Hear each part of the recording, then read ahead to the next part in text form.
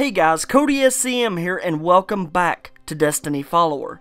So I wanted to bring you guys a quick news update. So as you may know, the last patch that Destiny rolled out had some pretty nasty issues when it came to Crucible connectivity and players connecting to Nightfalls and things like that. The issues were so bad that Bungie had to cancel Trials of Osiris and Iron Banner. But the good news is, Bungie rolled out a hotfix on Thursday that was designed to address these problems. As of right now, Trials of Osiris is on and continuing, and as long as issues don't arise over this weekend, we will be seeing the return of Iron Banner this Tuesday, June the 28th, and it will run from the 28th until July the 5th.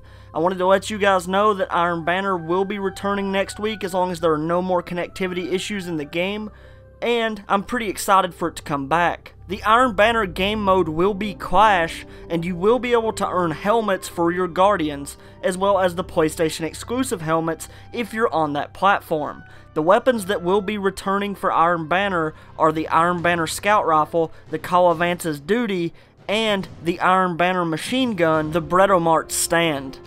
And also, in a recent interview with Playboy magazine, Rise of Iron executive producer Scott Taylor spoke at great length about a lot of different things that we can expect to see with Rise of Iron come September. Probably the most exciting thing that was confirmed in this interview is that infusion as we know it currently in the game is going to stay in place exactly the same way that it is now. That means that also any piece of gear that you've gotten since the Taken King dropped can now be infused up to whatever Rise of Iron's maximum light level will actually be. This is pretty exciting news for a lot of us who have a lot of gear that we've gotten since the Taken King dropped that we're really fond of and that we want to keep and it's really awesome that they've given us the option to bring our year 2 gear forward into Rise of Iron that way, you know, a lot of our gear doesn't end up being useless, like a lot of Year 1 gear was rendered when the Taken King released.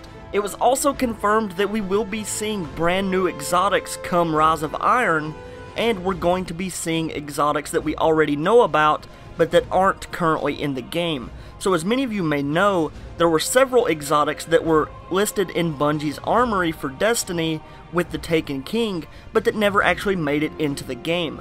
So it seems as though these exotic items are going to turn up at some point with Rise of Iron. Scott also mentioned that there are going to be new rituals tied to Destiny's endgame, but when asked to elaborate on that further, he just said that was something that they would talk about later. So it seems as though these new rituals are ways that we can make our Guardians stronger, but we don't know anything more about them at this point, but it does sound pretty exciting. But that about wraps up everything that I've got for you guys today. I hope you enjoyed this video, and if you did, please be sure to hit that like button. And if you're new to Destiny follower, make sure to hit that subscribe button for the latest Destiny news, lore, and entertainment. As always, my name is Cody SCM, and thank you for watching Destiny Follower.